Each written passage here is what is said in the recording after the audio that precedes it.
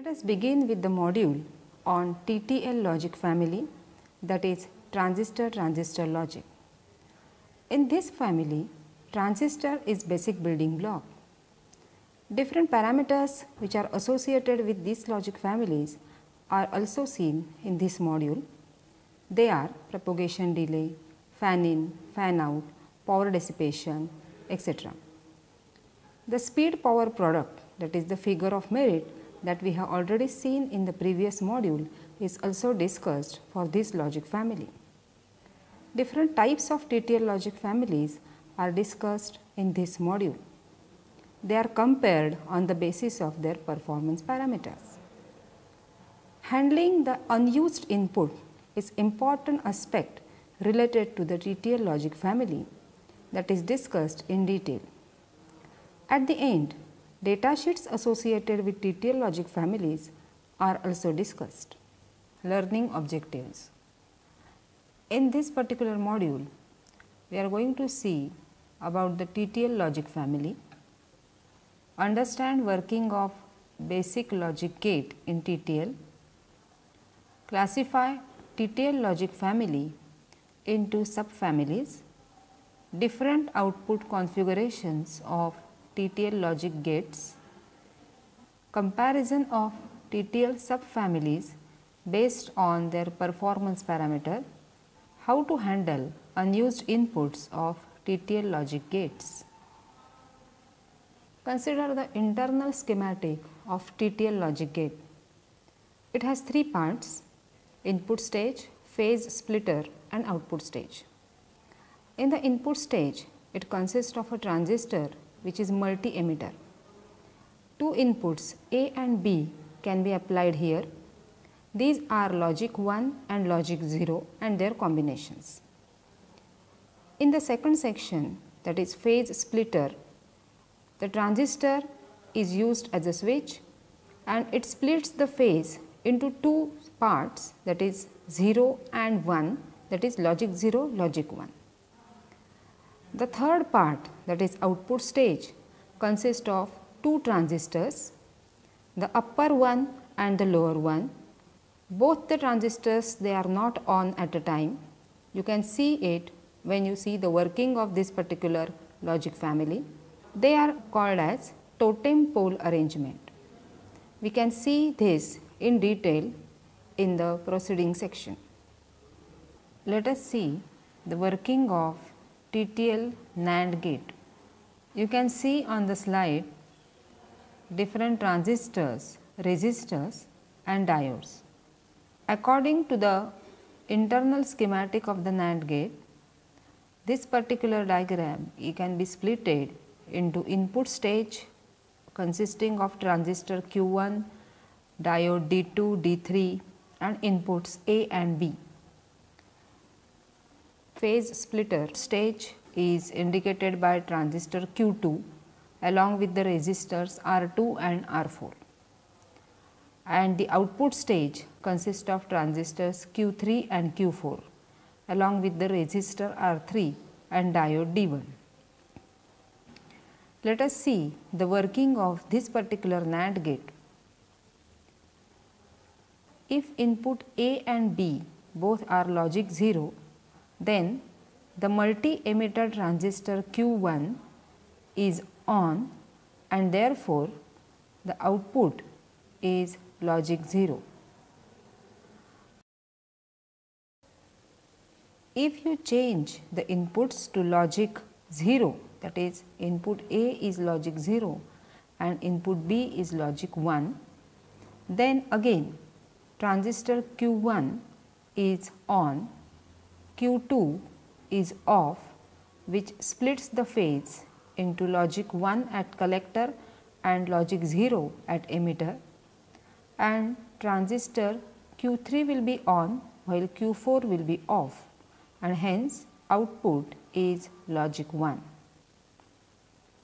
If input A is logic 1 and input B is logic 0, then Q1 will be on therefore output is logic 0 Q2 is off, collector is at logic 1 and emitter is at logic 0 and therefore, again Q4 is off and output is at logic 1. If input A is at logic 1, input B logic 1, here now transistor Q1 will be off because the emitter base junction of transistor Q1 is now reverse biased. This makes the phase splitting to change from collector to logic 0 and emitter to logic 1. Due to this, transistor Q3 is off and Q4 is on and hence the final output Y is at logic 0. Let us see different types of TTL logic families. TTL logic families are classified based on their output configurations. They are open collector, totem pole or standard output and 3 state or tri-state output. Let us begin with the totem pole configuration considering TTL NAND gate. As discussed earlier, it has three stages consisting of transistor Q1, Q2, Q3 and Q4. Here Q3 and Q4 are in the totem pole configuration. This is the output configuration where Q4 is at the bottom and Q3 is on the top as shown in the animation. This output is therefore called as totem pole output. Let us see what are the disadvantages of totem pole output configuration. As seen on the diagram that there is a gate and to the output of this gate number of loads are connected. If the output configuration is a totem pole configuration then such loads cannot be connected. So, we are not able to connect outputs of totem pole devices together. Such connection is impractical connection.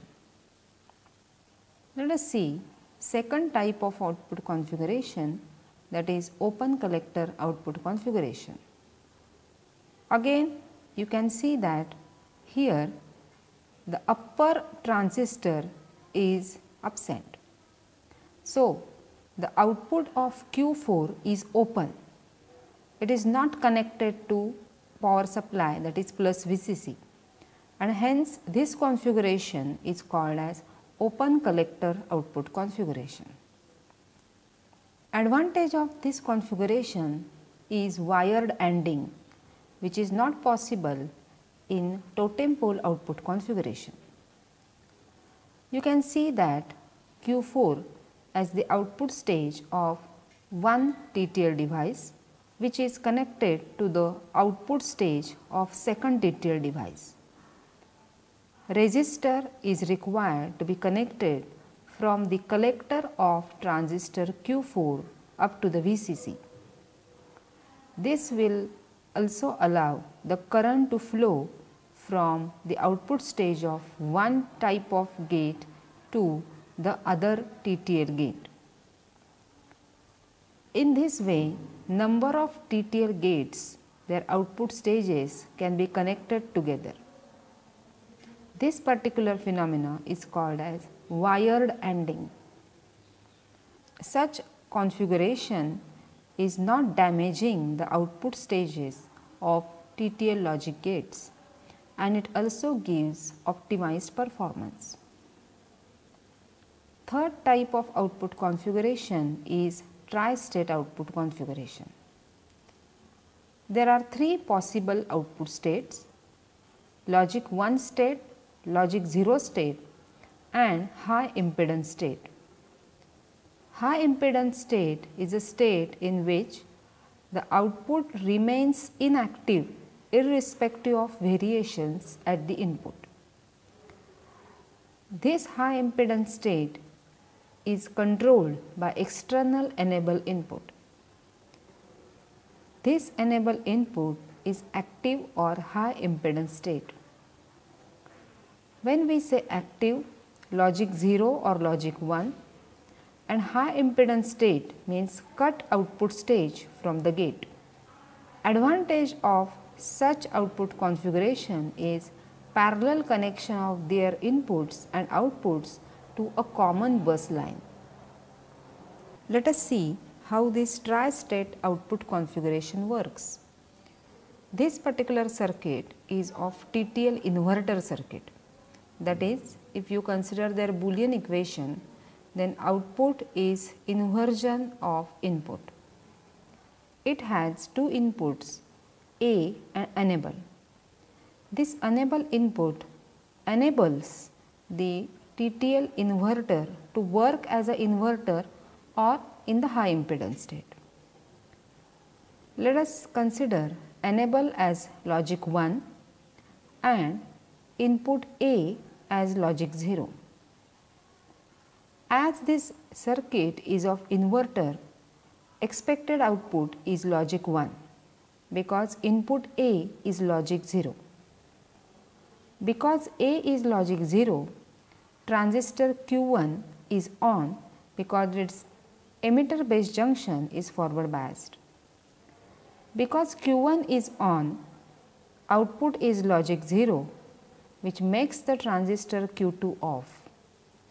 Because Q2 is off, output at the collector is logic 1 while at the emitter it is logic 0.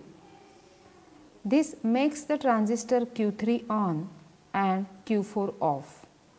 So, the final output Y is logic 1 when input A is logic 0.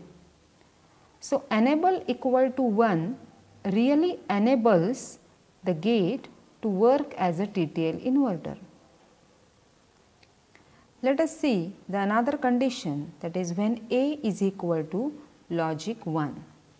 Enable again it is logic 1. So, here because input A is logic 1, emitter base junction of Q1 is reverse biased and therefore Q1 is off because Q1 is off, Q2 will become on because the collector of Q1 is at logic 1. Because Q2 is on, therefore, the output at the collector is logic 0 and at the emitter it is logic 1. So, Q3 will be off and Q4 will be on.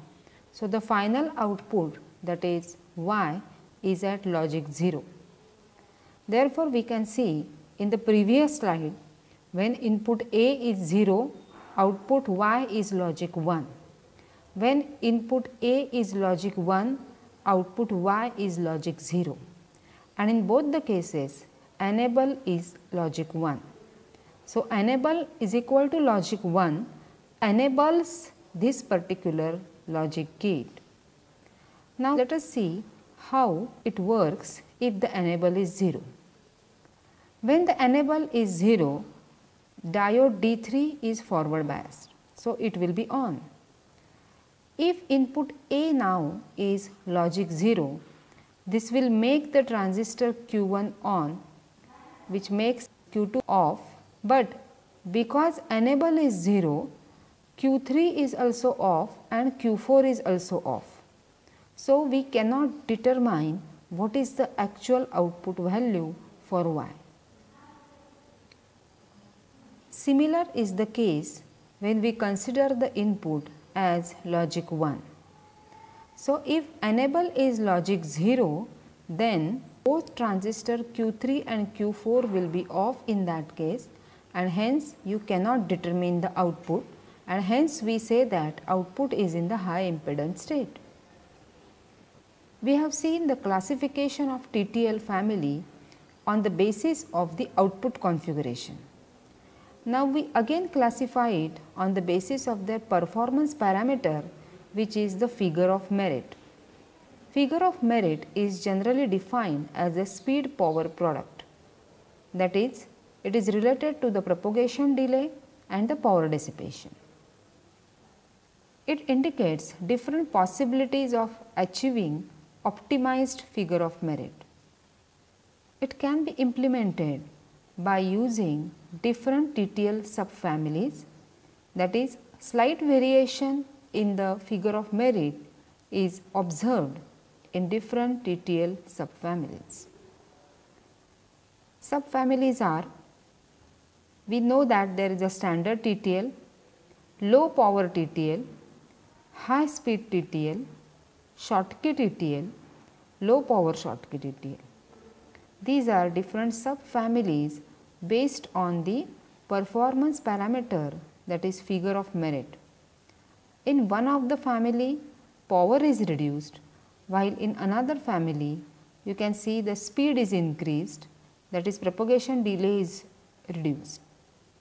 In low power Schottky, power dissipation is less and the propagation delay is comparatively less.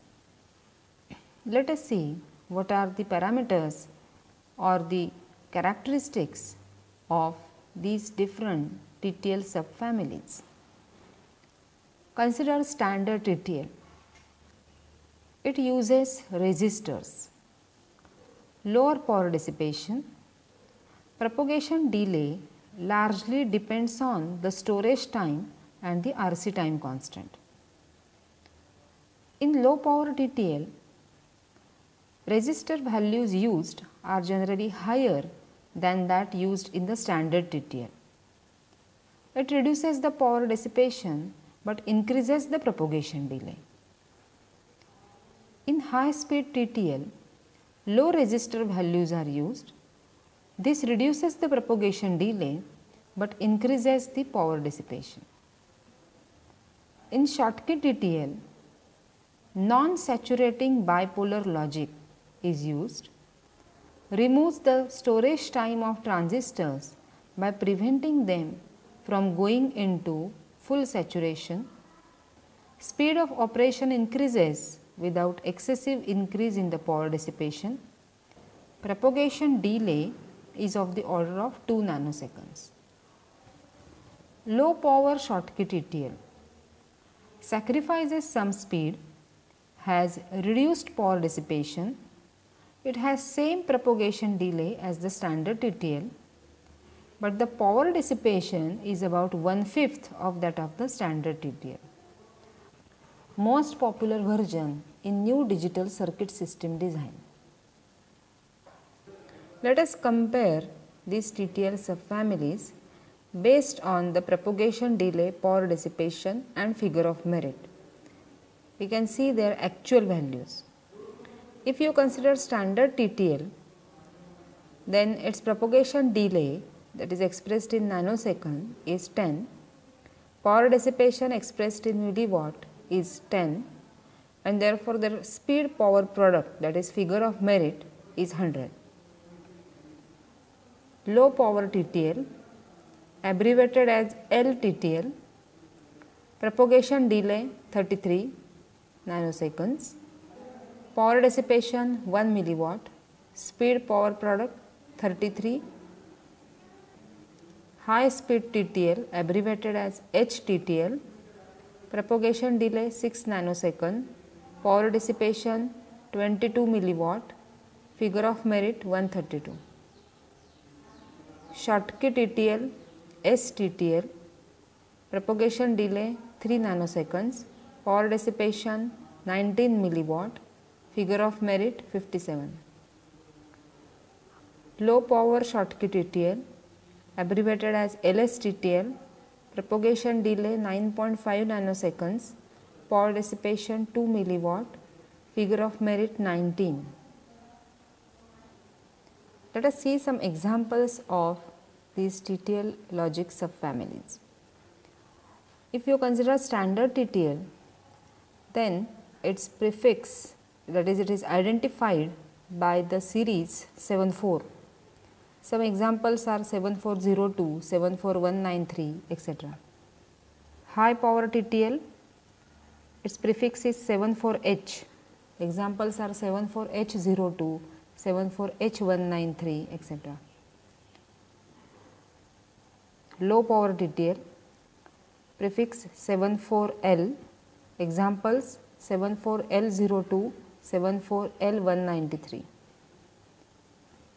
Schottky TTL prefix 74S example 74S02 74S193 etc. Therefore, generally 74 series is used for commercial applications and 54 series is also used for the military applications. This slide shows typical values of different parameters which are associated with logic family for 5400 or 7400 series, 54H00 or 74H00, 54L00, 74L00, 54S00, 74S00, 54L00, 74LS00 and their units are also given. Parameters are VIH that is when the input is high you can see the high input is considered as 2 volts if you consider 5400 or 7400 type of TTL logic gates. Then VIL that is low input voltage is 0.8 for 54 and again 0.8 for 74. VOH that is what is considered as the high output voltage it is 2.4 volt for both 54 series and 74 series. Output voltage low is 0.4 for both the type of series. High input current is 40 microampere then low input current is minus 1.6 milliampere. So, in this way different parameters are listed in this particular table. This slide shows typical values of certain parameters of TTL subfamilies. VIH input voltage considered as logic 1, VIL input voltage considered as logic 0, VOH output voltage considered as logic 1, VOL which is considered as low output voltage, IIH input current considered as logic 1, IIL input current considered as logic 0, IOH output current considered as logic 1, IOL output current considered as logic 0, ICC for logic 1, ICC for logic 0, TPHL and TPLH these together form the propagation delay for the gate. Logic families such as standard TTL, high power TTL, high speed TTL, low power TTL, Schottky TTL, low power short Schottky TTL etc. are given in the column. The last column shows the units in which these parameters are expressed. Like voltages are expressed in volts, all currents are expressed in microamperes, milliamperes and the propagation delay is expressed in nanoseconds. If you consider the standard TTL 7400, VIH is 2 and it is 2 for all the TTL subfamilies. VIL is 0.8 for 7400 and 74H00 series. It is 0.7 for 74L series, 0.8 for 74S and 0.7 again for 74LS. Values for 54 series and 74 series are almost same. VOH for 74 series 2.4, 74H series 2.4, 74L series 2.4, 74S series 2.5 and 74LS series 2.5 volts. There is a difference in these values for 74S series of 54 and 74 series. It is if you consider 54 and 74 series then for 54S and 74S there is a difference in the values of VOH 2.5 and 2.7 respectively. VOL for 74 series it is 0.4, 74H series 0.4, 74L series 0.3, 74S series 0.5, 74LS series 0.4 volts. There is a difference in their values for 54 and 74 for 74L series. It is 0.3 for 54 and 0.4 for 74. Again for LS series it is 0.4 for 54 and 0.5 for 74 volts. IIH values are 40 for 74 series, 50 microampere for 74H, 10 microampere for 74L, 50 microampere for 74S, 20 microampere for 74LS. IIL minus 1.6 for 74 series, minus 2 for 74H, minus 0.18 for 74L, minus 2 for 74S, minus 0.36 for 74LS, it is expressed in milliamperes. IOH 74 series 16 microampere, 74H 20 microampere, 74L 2 microampere, 74S 20 microampere, 74LS 4 microampere. IOL it is 1616 milliampere for 74 series, it is 2020 for 74 and 54 series, 2 and 3.6 for 5 4 and 7 4 series respectively again 2020 for 5 4 and 7 4 and it is 4 milliampere for 5 4 series and 8 milliamperes for 7 4 series. ICC for logic 1 is 8 for 74, 16.8 for 7 4 H, 0.8 for 7 4 L, 16 for 74S and 1.6 for 74LS. It is expressed in milliampere. ICC for logic 0, it is 22 for 74, 40 for 74H series, 2.04 for 74L series, 36 for 74S series, 4.4 for 74LS series. It is expressed in milliampere. Value of propagation delay when it goes from high to low is 15 nanosecond for 74 series, 10 nanosecond for 74H, 60 nanosecond for 74L, 5 nanosecond for 74S and 15 nanosecond for 74LS. And TPLH that is when it goes from low to high 22 nanoseconds for 74 series, 10 nanosecond 74H, 60 nanosecond 74L, 4.5 nanosecond 74S and 15 nanosecond 74LS. Some typical values of fan out of these logic families are given that is if the source is a TTL device and the load is also a TTL device then how many devices can be connected is given in the tabular form.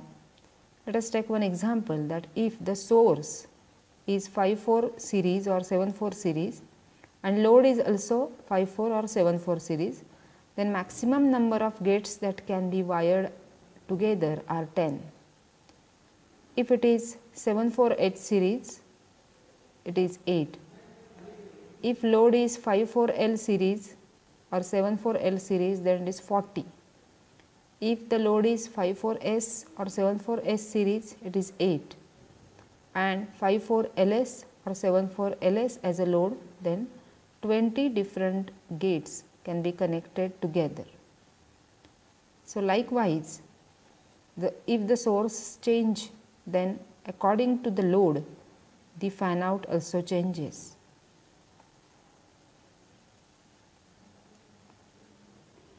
Let us see how to use the unused inputs of TTL.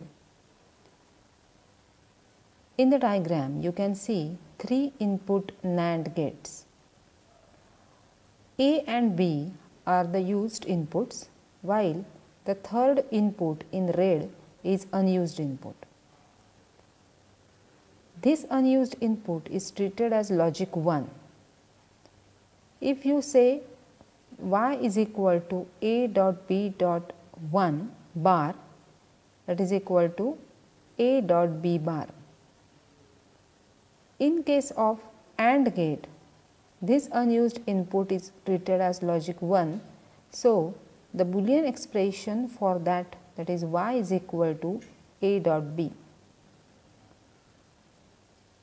Sometimes this particular unused input is connected to plus VCC through resistor.